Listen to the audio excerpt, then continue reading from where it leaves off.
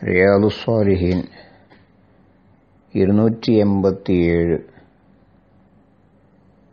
وعن أبي بردة عن نبي موسى الأشعري رضي الله عنه قال അബൂ മൂസൽ അഷ്അരി റളിയല്ലാഹു തആല അൻഹു പറഞ്ഞു خرجنا مع رسول الله صلى الله عليه وسلم في غزات ഞങ്ങൾ റസൂലുള്ളാഹിയുടെ കൂടെ ഒരു ധർമ്മ സമരയാത്രയിൽ പുറപ്പെട്ടു. വനഹനു സിത്തത്തു നഫരിൻ. ഞങ്ങളാകെ ആറു പേരാണ് ഉണ്ടായിരുന്നത്.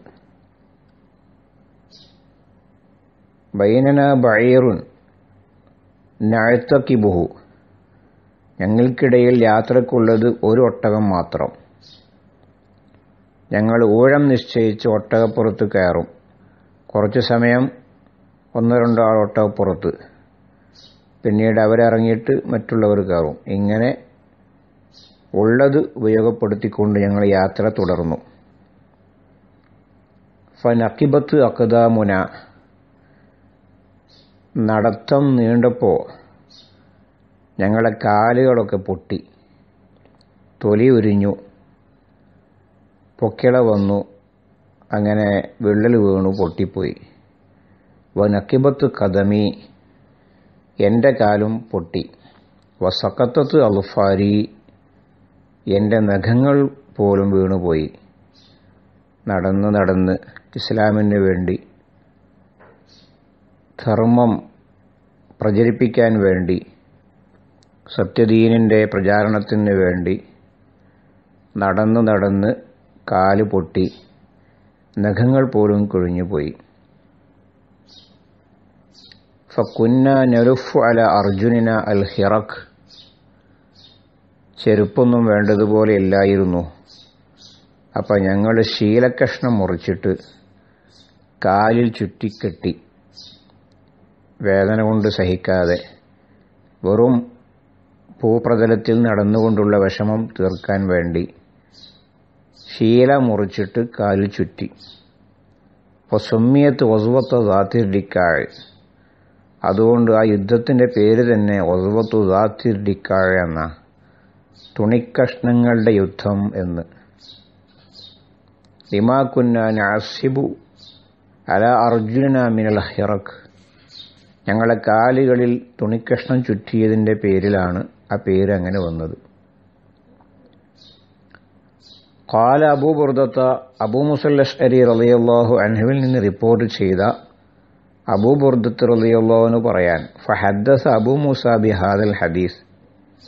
ഈ ഹദീസ് മഹാന അബൂ മൂസ തങ്ങൾ പറഞ്ഞു സുമ്മ കരിഹദാലിക്ക പിന്നെ അത് വേണ്ടിയില്ലായിരുന്നു. ആ അർത്ഥത്തിൽ അദ്ദേഹം വെറുത്തു. വക്കാൽ അദ്ദേഹം പറഞ്ഞു മാ കുന്തു അസ്നബിയാൻ അത് കുറവു ഞാനിത് പറയാൻ ഉദ്ദേശിച്ചതല്ല. പറയേണ്ടിയില്ലായിരുന്നു എന്ന് പറഞ്ഞു. കാല അബുബർദ പറയാ കന്നഹു കരിഹ അയ്യക്കൂന ഷെയ് മിൻ അമലിഹി അഫ്ഷാഹു. ദീനിന് വേണ്ടി ആത്മാർത്ഥമായി ചെയ്തൊരു കാര്യം പരസ്യപ്പെടുത്തൽ ഇവിടെ സംഭവിച്ചു പോയിട്ടുണ്ട്. അത് വെറുത്തിട്ടാണ് മഹാനവറുകൾ പറയേണ്ടിയില്ലായിരുന്നു എന്ന് പറഞ്ഞിട്ടുള്ളത്. ഏതായിരുന്നാലും ഇമാം ബുഹാരി മുസ്ലിം അഹമ്മത്തുല്ലാഹി അലൈഹിമ രണ്ടുപേരും റിപ്പോർട്ട് ചെയ്ത ഹദീസാണിത്. ഈ ഹദീസിൽ നമുക്കെന്ത് മനസ്സിലായി. ദീനിന് വേണ്ടി ദൈവത്തിന്റെ രംഗത്ത് അവർ പ്രവർത്തിച്ചപ്പോൾ നടന്ന് കാൽ പൊട്ടി അവരുടെ നഖങ്ങൾ പോലും പറഞ്ഞു പോകുന്നൊരവസ്ഥ എത്തിയിരുന്നു. ആ രൂപത്തിൽ സമർപ്പിതരും അള്ളാഹുവിന്റെ ദീനിന്റെ പ്രചാരണത്തിന് വേണ്ടി ഇറങ്ങിത്തിരിച്ചവരുമായിരുന്നു മഹാന്മാരായ സഹബത്ത് കിറാം. നബി സല്ലല്ലാഹു അലൈഹി വസല്ലമ തങ്ങളും കൂടെയുണ്ട്.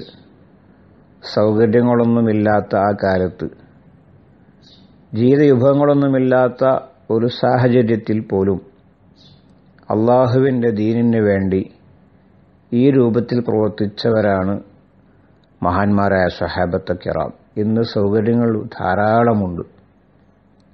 എല്ലാ നിലക്കുമുള്ള സംവിധാനങ്ങളുണ്ട്.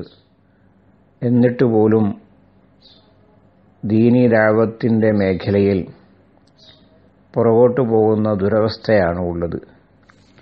മഹാന്മാരായ സഹാബത്ത് കിറാമിന്റെ ബറക്കത്ത് കൊണ്ടെങ്കിലും അള്ളാഹു നമ്മെ സലാമത്താക്കുമാറാകട്ടെ. ആമീൻ.